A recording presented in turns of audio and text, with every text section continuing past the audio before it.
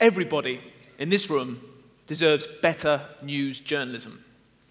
I'm here to tell you that the fundamental nature of news journalism has changed for the worst in the last 20 years, almost without anybody noticing.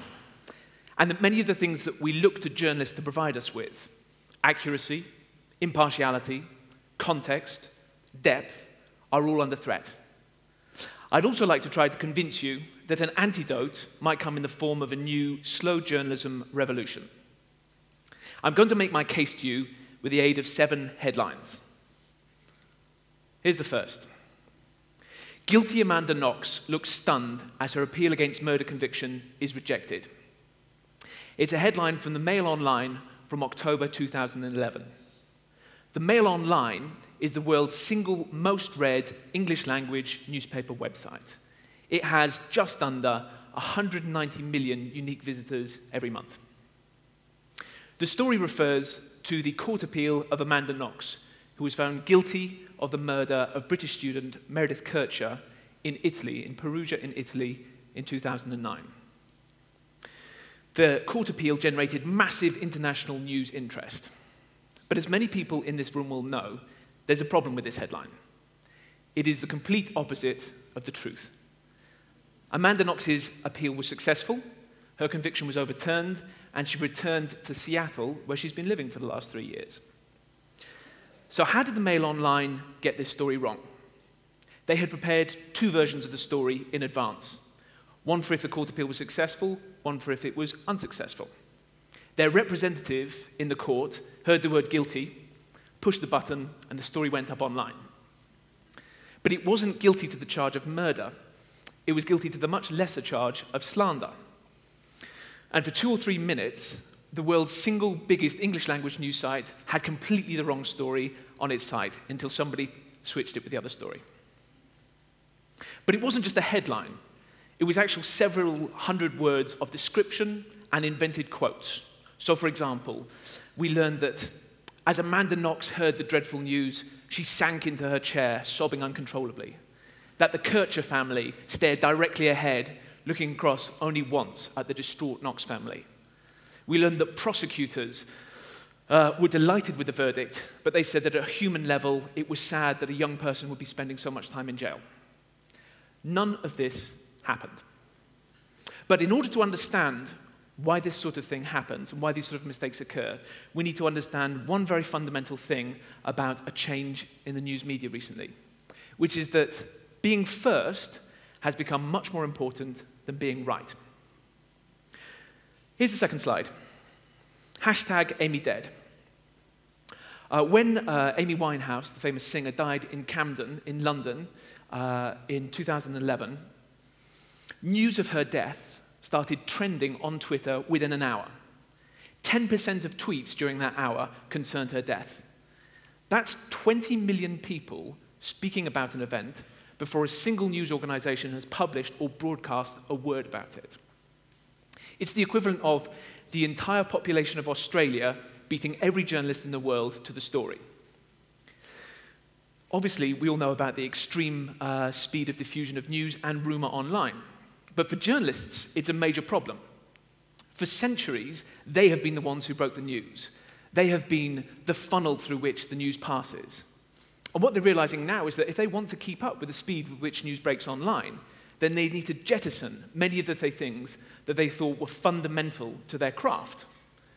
Taking a bit of time, speaking to some people, finding out some facts, getting some proper quotes, and giving their first best approximation of the truth.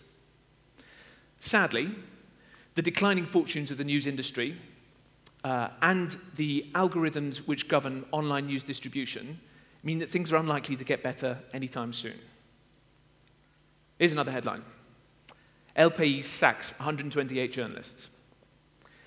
In 2012, El sacked almost a third of its editorial staff, and it requested the remaining journalists to accept a 15% pay decrease.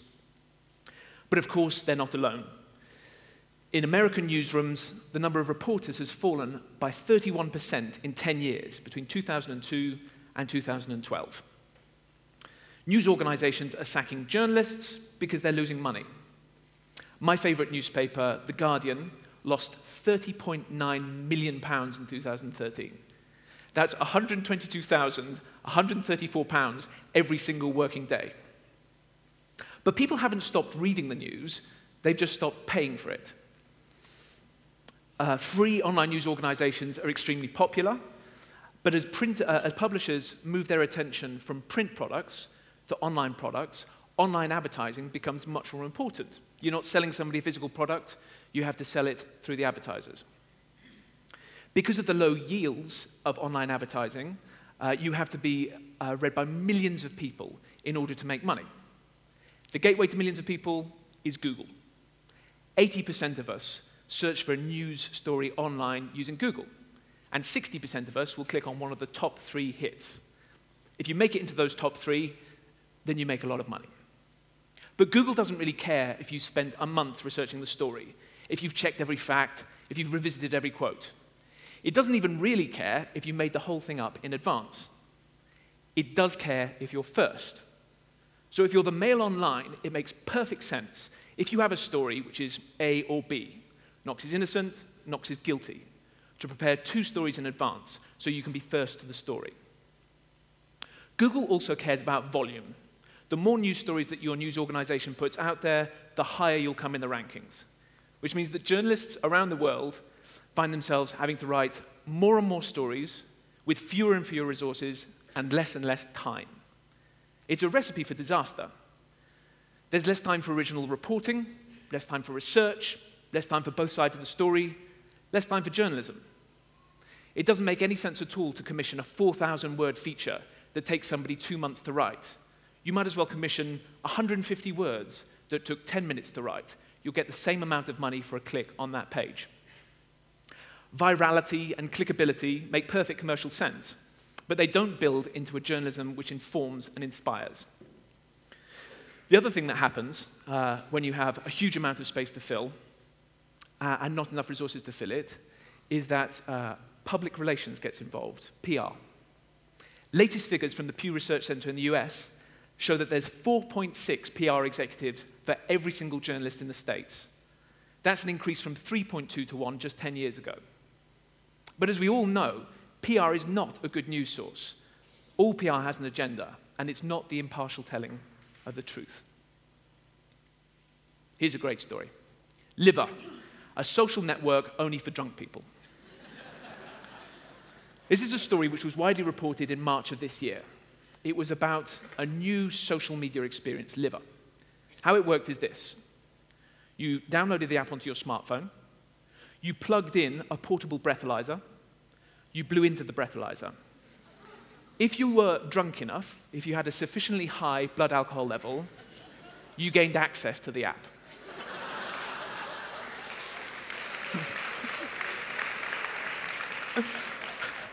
Once you were inside, you could geolocate and see where all the drunk people near you were.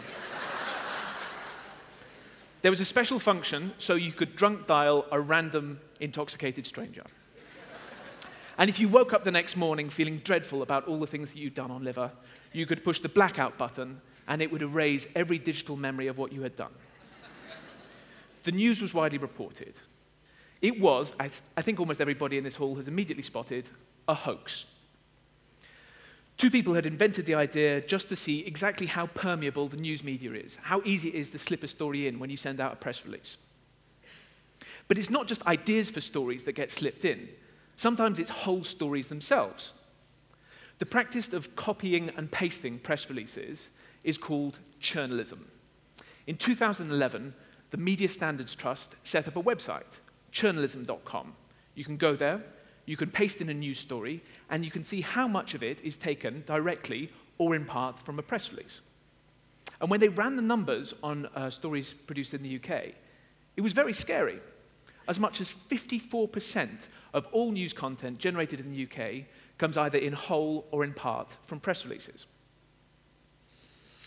But it's not just, uh, it's not just PR that rushes in, it's also speculation.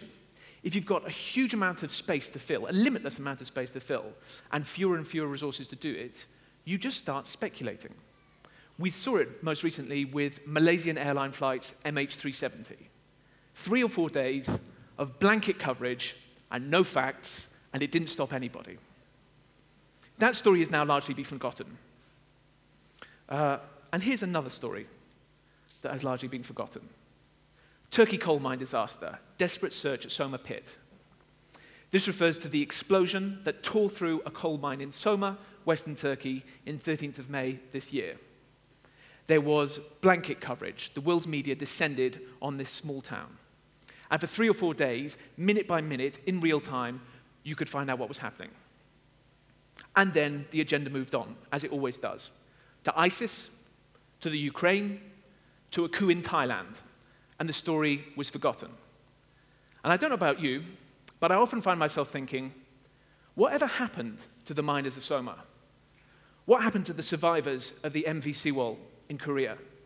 What happened to the kidnapped schoolgirls of Nigeria? Here's a story which hasn't been forgotten. Nixon resigns. Bob Woodward and Carl Bernstein spent two laborious years pursuing the Watergate investigation. It was an iconic investigation which culminated in the indictment of 40 US government officials, the resignation of a president, the shocking of a nation, and the setting of a high watermark for investigative journalism. Woodward and Bernstein came up against many objections and many obstacles along the way. But their newspaper, the Washington Post, thought that the investigation was important, and it supported them. In today's era of super speedy news production, immediate reaction, limited budgets, who's going to back this sort of investigation in the future? Which journalist is going to be given the time and the space to work on a story so complex and so difficult? And if we're not going to get stories like this anymore, what is the future for news journalism? Here's another headline and a little bit of text Earthquake. 3.7 quake strikes near Peru, California. A shallow magnitude 3.7 earthquake was reported Sunday evening, seven miles from Peru, according to the US Geological Survey. The tremor occurred at 9:18 p.m. Pacific time at a depth of 3.7, 8.7 miles. There's something very strange about this story. I'll give you a clue. It was written in less than a second. It wasn't written by an extremely efficient journalist, it was written by a robot, or rather, an algorithm. The LA Times uses a piece of software called QuakeBot. Uh, as soon as the US Geological Survey says that there's something going on, some sort of activity, it feeds it directly into a template, and within three minutes of an earthquake starting, there can be a full story about it online. This sort of thing is happening more and more. Associated Press is going to start using software called Wordsmith to automatically produce uh, 4,000 quarterly financial reports. Now, if you're an optimist, you might say, brilliant. Journalists will be freed from the menial tasks of reporting. They'll be given time and space to go and find the real stories and get stuck into them. If you're a pessimist, you might say, when has automation ever not led to job losses? Here's my view. Ten years from now, there won't be a single printed newspaper left in the developed world. Many major news organizations will have closed. Robo-journalism and news scraped from social media websites will be delivered to you according to your digital preferences, instantly and for free. News organizations which do survive will continue to write preemptive news stories, as with the Amanda Knox case, and 99 times out of 100, they will get away with it. There will be a constant, unremitting downward pressure on quality. Most people won't even notice. Most people will be happy enough they won't think about what has been lost. But some people will have an appetite for a different sort of journalism.